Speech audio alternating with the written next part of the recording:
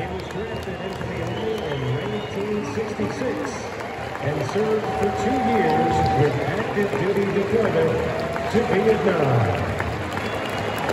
Ladies and gentlemen, please welcome Specialist Joseph Nicolai.